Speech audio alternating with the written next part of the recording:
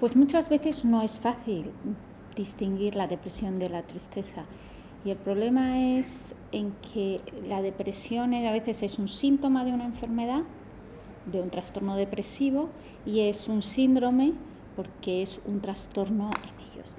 Yo creo que la tristeza es un sentimiento que tenemos todos los seres humanos ante circunstancias normales o ante vivencias de pérdida. Y eso además nos ayuda, nos ayuda a enfrentarnos al mundo, pero en algún momento pues ese límite nos hace sufrir, eh, nos impide hacer otras cosas que deberíamos hacer, nos impide desarrollarnos o llevar nuestra vida familiar. Y en ese momento pues a veces ya hay que pensar que ya no es una tristeza normal pues, ante una pérdida de un ser querido y empieza a ser una patología que, para la que uno necesita una ayuda profesional y cómo eh, llega a la conclusión un psiquiatra de que es una depresión y no es una, una tristeza eh, profunda. Es algo en lo, que, en lo que se está trabajando o se ha venido trabajando durante un tiempo y luego se ha abandonado y ahora se vuelve a trabajar en ello porque eh, los psiquiatras con las clasificaciones que teníamos, pues utilizábamos para diagnosticar depresión, además de la tristeza o la falta de disfrutar de las cosas o el humor depresivo, pues síntomas como la falta del apetito, del sueño, la falta de, de impulso para hacer cosas. Y a veces nos olvidábamos un poco de esa tristeza o de esa soledad. Entonces hay que ver que el paciente eh, cómo lo cuenta y cómo le afecta a su vida. Es lógico que alguien esté triste por un acontecimiento vital y eso además es importante porque eso te permite pedir una ayuda, una ayuda que en un momento puede ser de compañía de tus familias o de un profesional. Y hay que ver, eh, para diagnosticar la depresión, hay que ver que haya más síntomas además de eso. ¿Cuál es el papel de un familiar de una persona con depresión? Pues yo creo que es un, es un papel fundamental, porque muchas veces el paciente no lo reconoce, no lo reconoce y son los familiares los que le dicen, oye, a lo mejor esto ya no es normal, vamos a ver al médico. Por otro lado, tampoco se trata de medicalizar todo el sufrimiento, que a veces en esta sociedad nos está pasando. Uno ve una terrible desgracia y, parece que todo el mundo va a necesitar un psiquiatra, pues pues no es así. Afortunadamente el ser humano tiene mucha capacidad de sobreponerse sin necesidad de ir a un psiquiatra.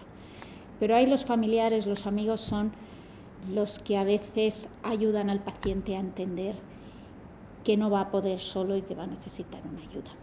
¿Y ellos en qué lo notan? Pues a veces en síntomas muy sencillos como el que deje de dormir, que se despierte muchas veces, que tenga pesadillas, que deje de comer, síntomas más que nosotros llamamos biológicos o somáticos eso hace que los familiares piensen, pues a ver si va a estar enfermo, vamos a llevarle al médico. ¿Qué porcentaje de curación de personas depresivas o en qué medida eh, la voluntad del enfermo depresivo eh, puede sacarle de la depresión? Pues es una pregunta difícil, porque uno de los síntomas de la depresión, un síntoma propio de la enfermedad es la apatía ellos no tienen ganas de hacer cosas, ni disfrutan de las cosas que hacen, tienen anedonia y entonces les cuesta. Eh, y les cuesta mucho, pero eso es casi el síntoma también de la enfermedad. No es que no quieran, sino que no pueden. Una vez que se les pone tratamiento, o farmacológico o psicológico, la apatía y esa anedonia desaparecen y uno tiene que esforzarse por hacer cosas. A nosotros eh, los psiquiatras, por ejemplo, nos gusta que en la medida que puedan los pacientes continúen trabajando y no se den de baja, no ser que eh, su enfermedad les afecte mucho, porque es importante que se organicen el día, que hagan cosas, porque el quedarse aislado en casa, pues uno hace que haga todavía menos y los síntomas aumenten. No sé si me puede usted responder a esta pregunta. ¿Qué porcentaje de éxito tienen los psiquiatras en el tratamiento de enfermos con depresión? Pues yo creo que vamos teniendo mucho. Eh, y no todas las depresiones las tenemos que tratar los psiquiatras. Los médicos de atención primaria eh, las saben manejar bien. A los psiquiatras deberían llegar las depresiones más resistentes. Si una depresión se coge a tiempo, remite y, va bien en pocos meses de tratamiento antidepresivo, aunque al final hay que mantenérselo un tiempo, no porque el paciente esté mal, sino para evitar que recaiga y por eso mantenemos el tratamiento seis meses, un año y si ha tenido ya dos episodios depresivos, pues lo mantenemos más tiempo. Lo que sucede es que hay muchas depresiones todavía que siguen sin tratar y que cuando llegan a la consulta son pacientes que llevan años mal. Entonces eso ya nos cuesta más. Pero si alguien viene con una depresión y, lleva semanas o meses con síntomas de depresión, realmente con los nuevos tratamientos el paciente va a ir bien en unos pocos meses. ¿Hay perfiles de personas eh, con tendencia a ser depresivas? Pues se han hecho trabajos. Eh, hay tendencias, hay causas genéticas. Sí que es cierto que si uno tiene familiares con antecedentes de depresión o de enfermedad mental, tiene más riesgo. Aquellas personas en estudios de personalidad dicen que aquellas personas con más tendencia a no expresar sus sentimientos, a aislarse, a no comunicarse, tendrían más tendencia a tener trastornos depresivos.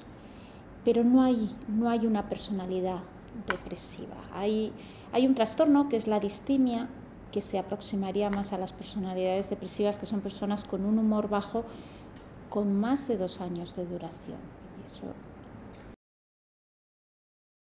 ¿Se puede diferenciar eh, en el tratamiento y en, el enfoque del enfermo a personas jóvenes, adultas y más, y más mayores? Eh? Sí, sí se puede y sí se debe, porque eh, las personas, los, todos los tratamientos farmacológicos tienen efectos secundarios, entonces nosotros tenemos que escoger pues a las personas jóvenes eh, les puede afectar pues, en su sexualidad o en su trabajo, en su concentración, memoria o en el aumento de peso.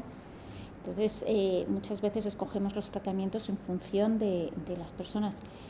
Yo creo que cuando hablamos ahora tanto y está tan de moda en los medios de comunicación la medicina personalizada, a mí personalmente me parece que es algo que hacemos los médicos desde el principio y que no es nada nuevo, porque uno se enfrenta a un paciente, está con él en su consulta y trata de darle el mejor tratamiento en función de su edad, de su sexo, de todo. Y entonces eh, hay diferencias, no solo en el tratamiento farmacológico, sino también en el tratamiento psicológico en función de la edad y del sexo.